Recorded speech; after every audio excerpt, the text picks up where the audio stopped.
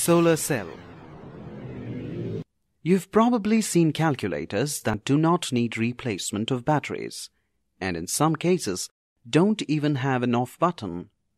As long as you have enough light, they seem to work forever. These calculators use solar cells. Solar cell is a device which converts solar energy or light energy into electrical energy. The first practical solar cell was designed in 1954. Solar cells are made of special materials called semiconductors such as silicon, gallium, etc.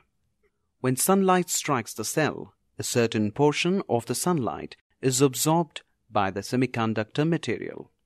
The light energy knocks electrons loose, allowing them to flow freely. This flow of electrons constitutes current.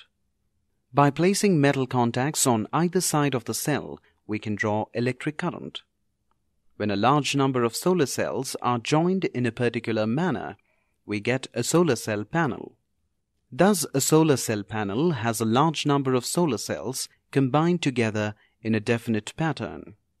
You would have seen solar panels on traffic signals and above street lamps.